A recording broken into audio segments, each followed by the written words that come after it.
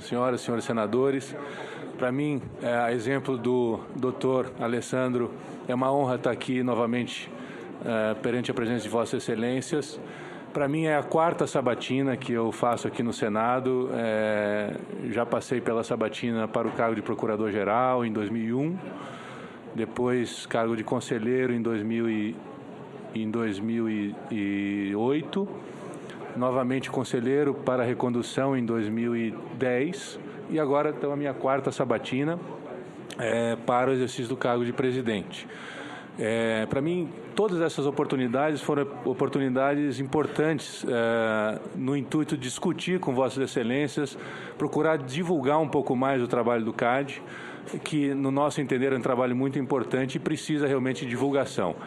Eu acho que o CAD, ao longo dessa última década, eu tive a oportunidade de uh, publicar um artigo na Folha de São Paulo dois dias atrás. O CAD, uh, no ano passado, foi reconhecido como a melhor agência de defesa da concorrência das Américas. Um prêmio atribuído pela revista britânica especializada chamada Global Competition Review e o CAD é, venceu nessa disputa é, agências poderosas como o Departamento de Justiça dos Estados Unidos e o Bureau da Concorrência do Canadá. Esse prêmio é um reconhecimento pelo trabalho da equipe do CAD ao longo da última década. Né?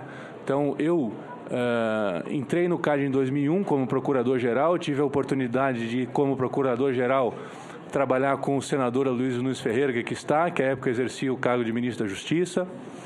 É, então, eu acho que o CAD os outros órgãos de defesa da concorrência no Brasil, SDE e CEAI, nós conseguimos, ao longo dessa última década principalmente, é, levantarmos o nosso patamar de é, competência e é, chegando a ser reconhecidos internacionalmente pelo nosso trabalho.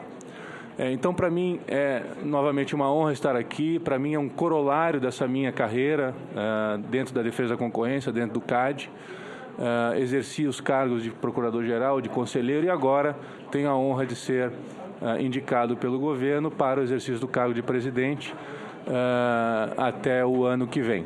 Então, eu gostaria de fazer muito breves as minhas palavras e deixar mais espaço para que Vossas Excelências possam fazer as suas indagações. Muito obrigado.